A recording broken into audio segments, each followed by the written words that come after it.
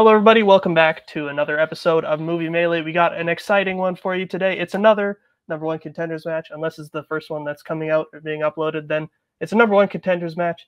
Uh, we've had a very large uh, title picture building up to a four person title match coming up soon. And we got an interesting one for you today. We got Payson Johnson, fresh off of a victory against Tony Durso, I believe, taking on Jeremy Adams, who we haven't seen since he played for the title against David Nishimoto should be a really good match. So without any further ado, I, we're going to jump right into uh, rematch interviews, starting with our lower ranked competitor, Mr. Payson, the Cinemaster Johnson. Uh, Payson, uh, you've been playing really, really well uh, all season long, fresh off of two very impressive victories against John Marr and Tony Durso. Thoughts on your opponent, uh, in, uh, excuse me, in Jeremy Adams, who I believe you haven't faced uh, before in singles. So Not it's an interesting matchup. Thoughts on your opponent? Listen, what I was going to say in this pre-match interview made a lot more sense when Cam was going to be here, but I'm still going to say it anyway. Uh, this right here, as many of you will probably guess, uh, it's a lot like uh, the Marines from One Piece uh, post the Battle of Marineford. Uh, Boatman is Sengoku. Boatman's the fleet admiral. Uh, he's starting to feel like his time here might be over, and he wants to get a successor. And in his last match, he said he wanted to face Jeremy. Jeremy's Aokiji in this situation. He's the successor uh, uh, Boat believes that, that he is the true one. But uh, not everyone out there believes that Aokiji is the true successor. Some people believe that it's uh, that it's Akainu who should be the successor, and that is me. And uh, as we all know in One Piece, uh, Akainu and Aokiji went out and battled for five days on the island of Punk Hazard. Epic battle. And we all know who won that match. Jeremy, you're a great competitor. I hope you bring the fire. I'm bringing the magma today. Let's go. All right, cool. I have no idea what any of that means, but yeah. best of luck to you. Uh, we'll now bring in your opponent for this evening, Jeremy Adams, as long as well as his manager uh, Caleb Boatman. Uh, Look, Jeremy, it was, it was, Kiwi that asked Sengoku to manage him, and not Koda. Kind of. so that's that's on Kenai over here. Jeremy, thoughts on your opponent today, Payson Johnson, who you haven't faced before? Well, I I have to admit I haven't I'm not I haven't watched One Piece, but I have been watching uh, Avatar: The Last Airbender, and I definitely consider myself Aang for whatever that's worth. So, but, but in any case, uh, yeah, I'm excited for this match and nervous. Payson is a really great competitor, but you know he's in my faction. We're all friends here, and whatever happens, uh, you know, I'm going to be happy, you know, on some level, but I'm going to bring my A game. And I got my buddy Caleb here uh, uh, helping me today. So hopefully that'll get me a little bit of a push. Um, you know, Payson's got a little more momentum with recent singles matches, but, you know, teams with you, Caleb, I think has helped keep me somewhat sharp. So I'm still feeling like uh, I could do this today. Let's catch that Pokemon. Over 9,000. Well, we will now put Caleb backstage for now, and we will get into round number one, which will work like this. This is the uh, whiteboard round, standard whiteboard round. Eight questions, eight different categories of movie trivia. If any player uh, gets all eight questions right, by the way, you're right. These uh, these questions are answered individually on a whiteboard. I'm stumbling through this whole thing. You get all eight questions right, you get a bonus question, also worth one point. Uh, three repeats, one challenge to use for the entirety of the match. Any questions before we get started? Cool. All right. So then your first question in round number one will come in the category of music. What Eastern U.S. state is 2021's Coda set in? I like this film quite a bit. It's cute. Very nice. Very nice, pleasant film. Best picture? I don't know. But you know, whatever. Five, four, three, two, one. Pens down. We'll go to Jeremy first. Massachusetts. And Payson? Yeah, a lot of Red Sox hats in that movie. Massachusetts. Massachusetts is correct. One to one as you get into your next question, which will come in the category of the 1990s. Who stars as Nomi Malone in Showgirls? I have not seen this one, but I believe this one also won Best Picture back to back. That's crazy. Wow. What a film. I don't know. This has been it's been a rough day, guys, for me. Five, four, three, two, one. Pens down. We'll go to Payson. Elizabeth Berkley? And Jeremy? Elizabeth Berkley. Both correct. And tied up as we get into your next question in the category of the 1970s. In five easy pieces, Robert works at what kind of location before leaving to before leaving for Washington? What type of location?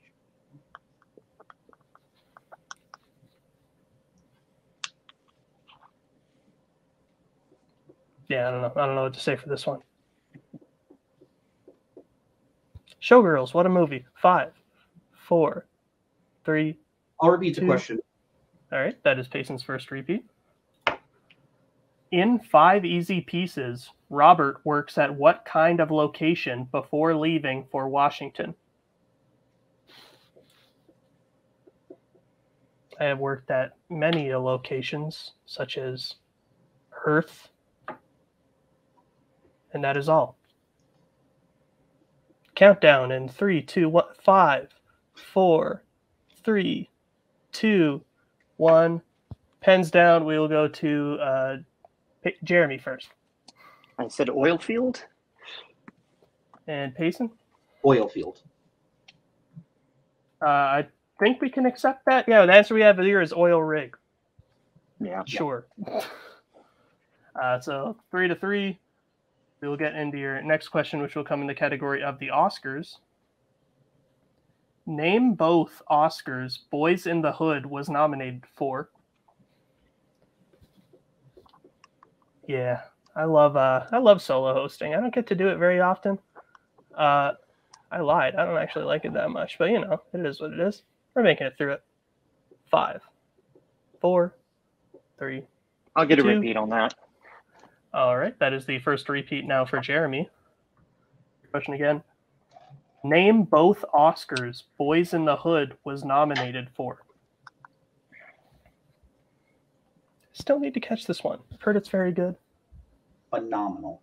Yes, yes. Man, I've barely seen anything. How the hell did I win the title? Five, four, three, two, one. Pens down. We'll go to Payson first. Best original screenplay and best director. And Jeremy? Best original screenplay and director. Both correct. So four to four. Stay tied up as we get into your next question. In the 2000s, in the game plan, what is Peyton allergic to that she has a reaction to while eating ice cream? Uh, the answer is not ice cream. I can say that. Maybe I shouldn't say that. I don't know. Hosting, fun. Five, four, three, two, one. Pens down. We'll go to Jeremy Yeah, you guys got me on this one. I said nuts. and Payson. Cinnamon?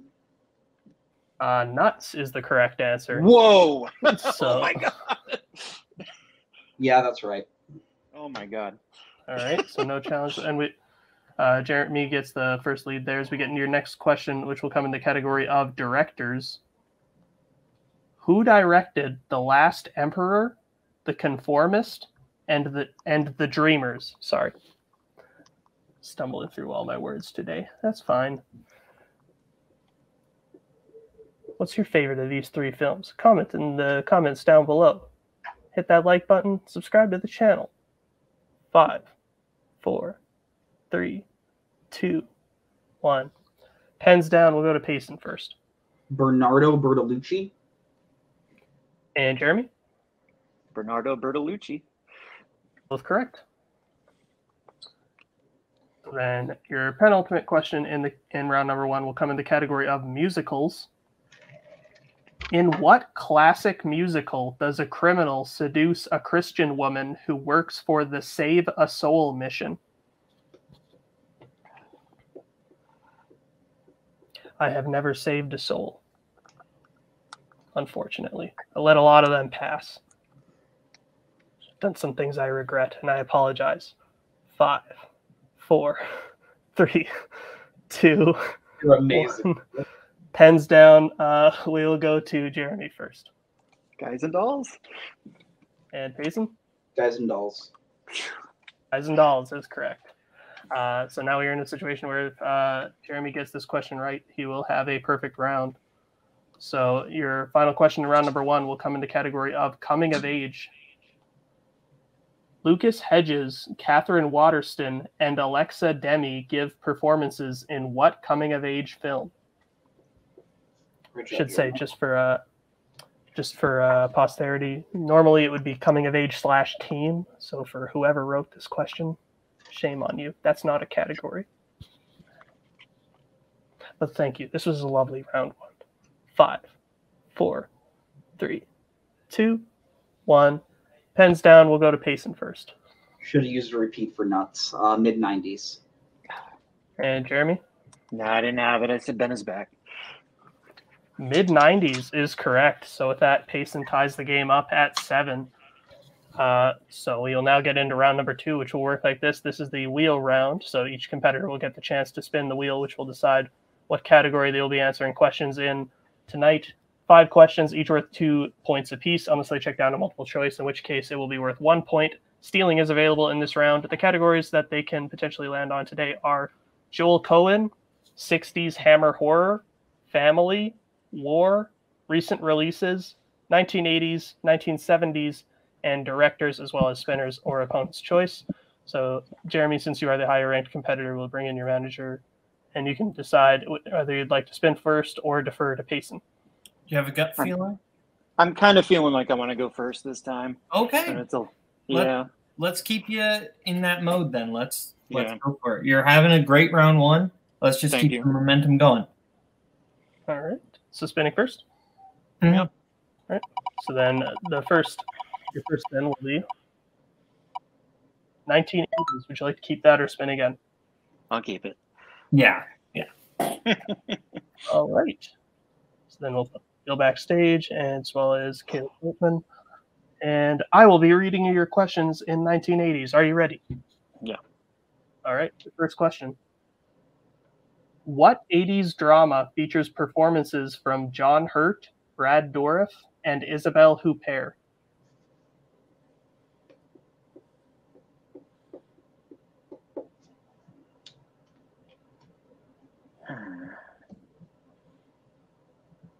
I'm gonna go multiple choice. Your options are A. Mississippi Burning, B. Dune, C. Heaven's Gate, or D. 1984. Heaven's Gate. That is correct for one point. Uh, I made a mistake there in writing, but that's okay. Uh, uh, next question will come in the category 1980s. What am I doing? Where specifically does uh, Liz find the body of Kate Miller near the be- near the beginning of Dressed to Kill?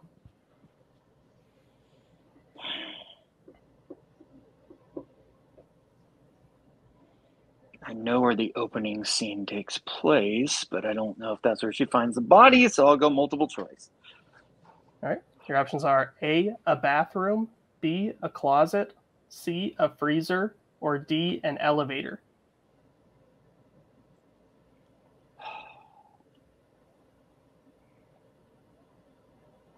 I'm gonna go elevator. That is correct for one point. Next question. What instrument does David Bowie's character play in The Hunger?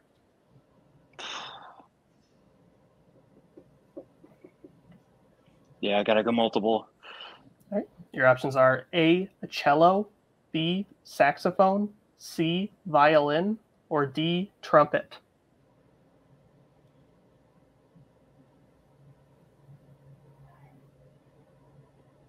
I'm gonna try cello. That is correct for one point. So now your penultimate question in this category. In UHF, what is the profession of Stanley, the man who becomes the host of the hit show Stanley Spadowski's Clubhouse on Channel 62? The janitor. That is correct for two points. Now, your final question in this category Who directed An Officer and a Gentleman? Taylor Hackford. That is correct for two more points. So coming out of that round, I now have uh, Jeremy in the lead, 14 to Payson 7. So we'll now bring back the wheel. And Payson, this will be your first spin. And you land on spinner's choice. I am going to take. You know, I'll take directors. All right. So we'll put this backstage right now. And your first question in the category directors. Are you ready? Yep. All right. Who directed 2015's Room? Lenny Abrahamson. That is correct for two points. All right, your second question. Who directed 1946's Beauty and the Beast and 1950's Orpheus? I'll go multiple. All right. Your options are A. Jean Cocteau, B. Francois Truffaut, C. Ingmar Bergman, or D. Robert Bresson?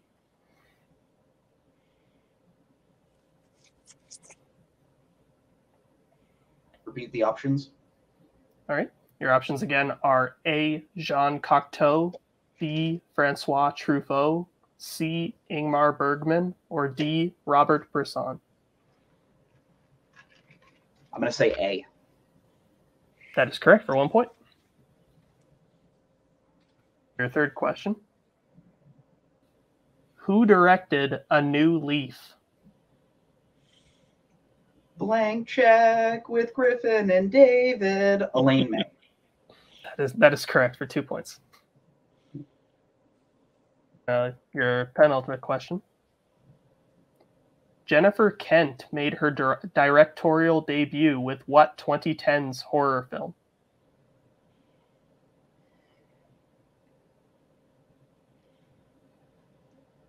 What's the score?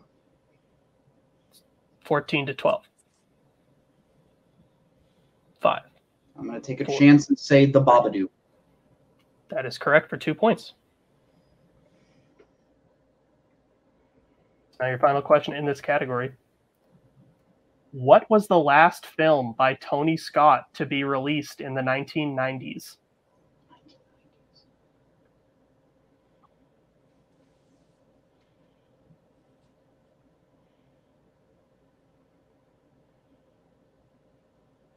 Five, uh, Repeat.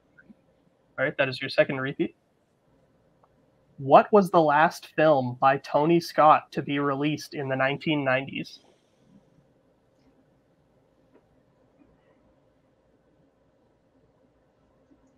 Enemy of the State. That is correct for two points. And the lead. So coming out of round number two, I have the score at Payson in the lead, 16 to 14. Close game, but we will now get into round number three, which will work like this. It is the pick your poison round. So how it is going to work is like this. We will be going back and forth drafting categories, starting with the player in the lead. Once a category is drafted, it cannot be drafted by your opponent. Once all categories are drafted, the player behind will answer questions until they take the lead. You will choose which category and for what point value you would like to take first, and we will go until there is a mathematical mathematical winner. The categories that they could choose from tonight are action slash adventure, biopics, sci-fi fantasy, Oscars, mystery slash thrillers, war, musicals, and the 2000s. So we'll let them pick their categories right now, and we'll be right back. All right, we're back. The players have drafted their categories. We will now start with Jeremy since he is down by two. So Jeremy, what category and for what point value would you like to take first? Yeah, let's let's do one in musicals. All right. So your question in the category of musicals. Who plays Stephen Sondheim in Tick Tick Boom?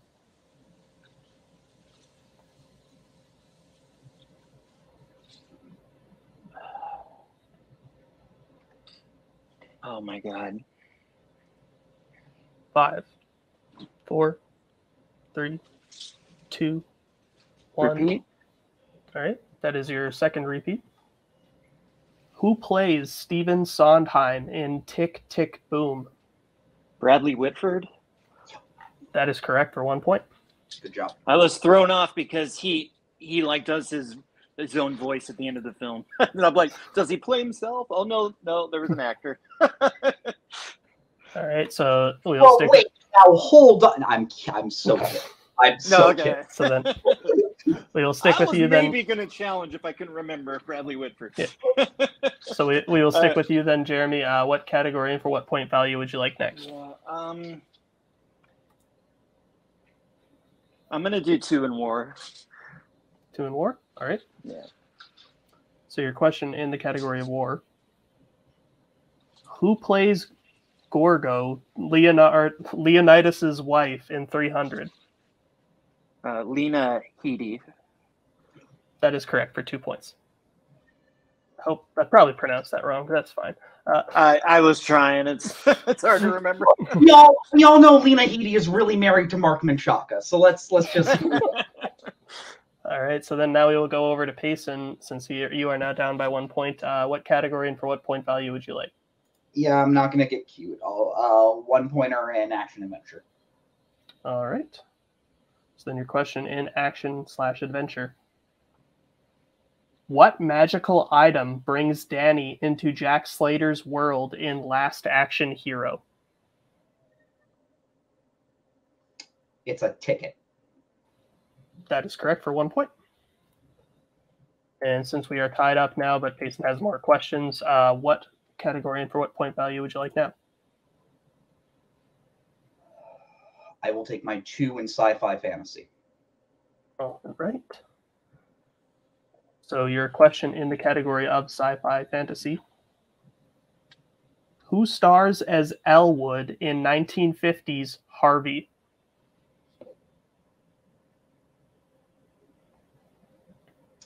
James Stewart.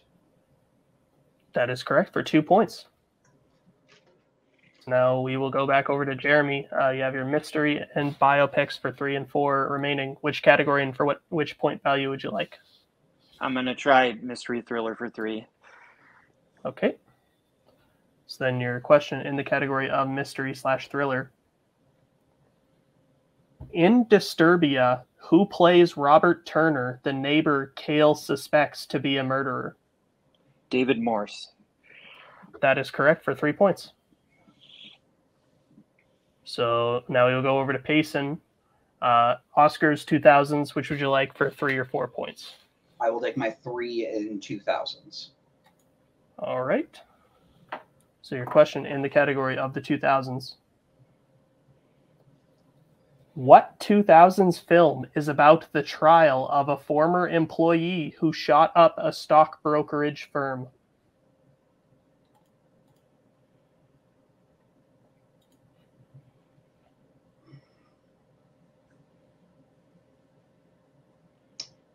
Between two. Five, four, three. Find me guilty. That is incorrect. We were looking for runaway jury. That wasn't one of the ones I was thinking. Okay. Right. So here's the situation now. Pa- Payson has his four pointer in the category of Oscars. Uh, if he hits this, he will send it back over to Jeremy. If he misses, Jeremy will be the winner. So your question in the category of Oscars. Who was the first person to win Best Director for their debut film?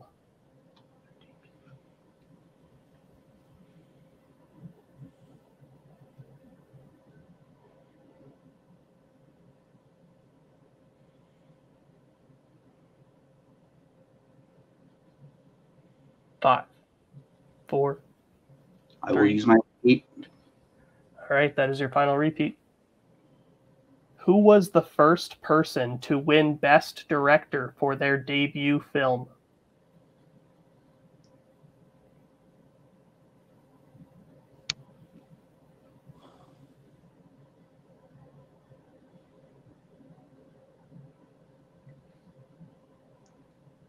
Five, four, three.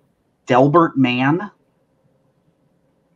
That is correct for four my big God. points. Oh my gosh. So now, Jeremy, whatever happens, great game. Great, great game, game, Mason. Great game. Phenomenal game. Uh, so we will now go into uh, Jeremy's four point question in the category of biopics. If he hits this, he will win. If he miss, if he misses, then Payson will be the winner. So your question in the category of biopics. Your question, Jeremy, in the in the category of biopics. What is the name of the real life person portrayed by Jeff Daniels and Matthew Modine in the films Steve Jobs and Jobs? And I will say we need first and last name.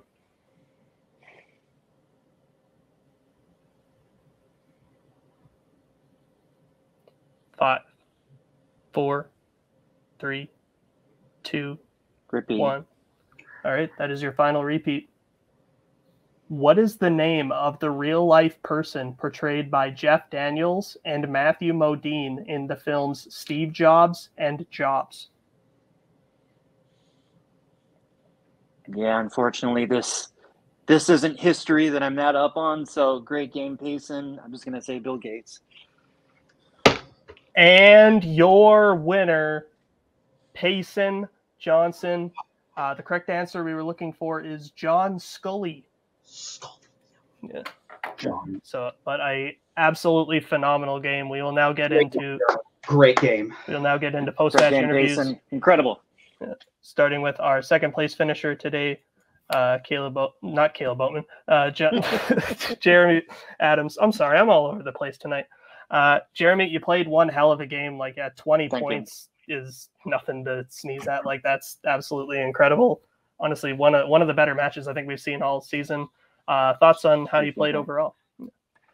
I feel good about how I played. You know, there's always a little bit of luck. Like, you know, I would have been 10 out of 10 on the directors but you know that's just how it falls. So you know, may you know maybe if I'd had him, I don't know, maybe if I did respun on 80s, I could have got directors, but I wasn't going to do that. So you just you never know. But I feel good. Like I didn't, I didn't like there wasn't anything that I knew that I screwed up on. That's always a good feeling. Like if I knew it, I knew it, and then there were some really lucky guesses where I just kind of reasoned it out. So uh, yeah, I, I feel good about that. But yeah, Payson, I think I think it's the Marty. I think the Mann Marty pull is. I think he kind of deserves to win this match on that. That was incredible. I know Caleb would have got it, but it's still incredible to to see somebody pull something like that. And yeah, you had to ask about a biopic, which is like a subject matter I I'm not that into. So just, there's a lot of other like biographical films that are more in my wheelhouse, but you know, now I, I feel good. I played well, and uh, you know that four way title match is you know going to be. I'll go and let Payson deal with the stress of that, and, and that studying for that, and and uh, yeah, we'll get back to focusing on the on the team. So brutal, brutal is what that match is going to be. So yeah, so. It's very But, well, yeah, I, this does bring an end to your uh, season in multiplex for 2023. But overall, I think a very solid showing this year for you. Thank you on your return. Uh, so when you come back next season, assuming you will be, I don't know. I'm just assuming that you will be coming back next season. But uh, who would you like to play when you return? I do plan to come back, and uh, I mean, I, I, I got a lot of rematches. You know, David Nishimoto, Payson uh, Marangona. There's a lot of people that I end up playing a lot, and and uh, it's always good to kind of get some rematches on some of those guys. So we'll see if maybe we can look at something like that next year. That's fair. Yeah, I'd absolutely like to see those. Uh, but anyways, thank you for uh, being here, Jeremy. We'll put you backstage for now, and we will bring in the first place finisher for this evening, one Payson Johnson. This feels weird doing a one-on-one interview, but you don't get uh, those very often. Well, uh, well, two beautiful men talking to each other. Get my vibes. But uh, Payson, same same thing I said to Jeremy applies to you here. Uh, absolutely phenomenal game from both of you guys. Uh, 23 points. That's a hell of a statement, I think, going into a title match. Thoughts on your performance and the match overall? First off, I just want to say phenomenal game to Jeremy once again. Um, I think most people know I've been watching since 2019. So when I play people like Jeremy or when I play people like Boat or when I play people like Marangoni, it feels like I'm playing like celebrities in my mind. Like this is how I view these people two years before because it took me two years to enter the community. So I like I I have a very high viewpoint of them. And when I put myself in these matches, oftentimes I I I have a tough time viewing myself as like on their level sometimes. And I think sometimes moments like these just I don't want to sound too cocky. It makes me feel like I need to give myself more credit because it's been a while since I felt this good about a win in like in a while. Like eh, I I I feel really really I I said before I said last match when I played Tony, I'm going to have to have a game like I had against Tony if I'm going to win against Jeremy. I think I had that match. Yeah, absolutely. Well, now with this win, you do advance to the four-way uh, title match. Uh, we know one of their opponents for sure, Caleb Boatman, obviously the reigning champion. Uh, so, thoughts on playing him, and thoughts on who else would you like to see in that uh, upcoming match? Uh, am I very excited to uh, be playing in a title match? Yes. Like Boat said, pain, pain. But no, honestly, like I'm very excited to play Boatman. Um, I would love to play Cam, keep it in the faction as much as you can. And I think if, if David makes it as well, just my teammate, I think that would just be four absolute titans just going at it, like in the trivia sense not in other senses. Like I, I think that would be a great. Wow. Okay, this has gone on long enough. Take me off, Dylan. okay, fair. Well, uh, thank you, Payson. Congrats. We'll put you backstage for now, and I will finish this up as good as I possibly can, even though I've. It's been a, it's been a rough one today on the hosting desk, but uh, anyways, again, like I said, fantastic match. Like really one of the best I think I've seen all season. Both competitors absolutely brought it. That lived up to the hype or uh, this is one of those matches where just on paper it's like this this can't really go wrong. Like this is a good match. And yeah, both of them very definitely delivered. Excited to see what Payson does in the title match. But uh yeah, that'll be all for us over at here over here at Movie Melee. Thank you all for watching. We'll see you in the next one. Thank you to the writers. Thank you to the showrunners. Thank you to the admins, players, everyone, all of them. Thank you. Uh, we'll see you in the next one. Bye. Goodbye.